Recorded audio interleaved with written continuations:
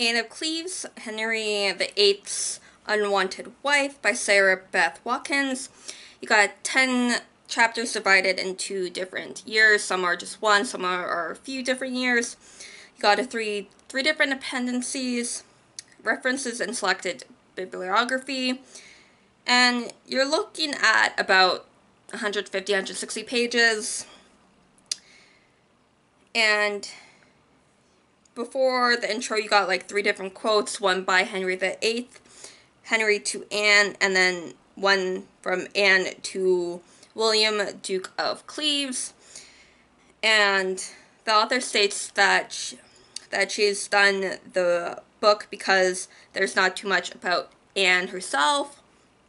And you got primary sources, quotes throughout the book.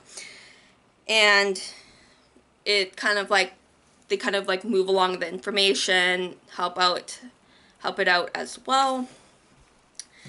And then it goes into her life a little bit before her going to Henry. The divorce and after like her becoming his sister.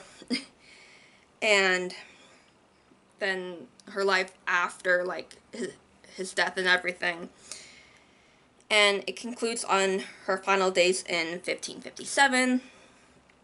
And then the three appendices you're looking at the marriage treaty, the last will and her last will and testament, and then you got a document by Thomas Becon.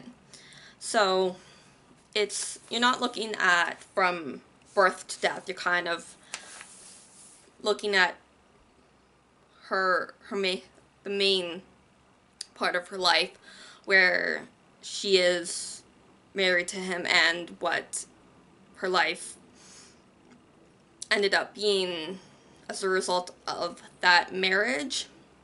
So you do got it a little bit beforehand and then after. So if you are a type of person who likes Henry the Eighth or like Tudors this time in history or this time in England, this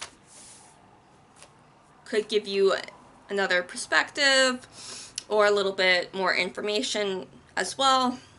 So it is something to have a look at because a lot there are there is still that interest of Henry VIII. You got the that little rhyme about Henry and his wives, and you.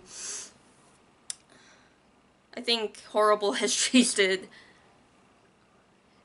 put it into play, so you have that. You still have that, so. But with this, you do have uh, a look into the life of one of his wives.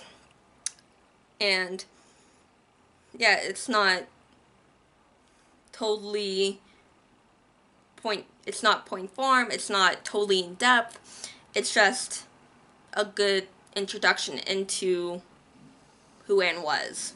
So, Anne of Cleves, Henry VIII's Unwanted Wife by Sarah Beth Watkins. Happy readings.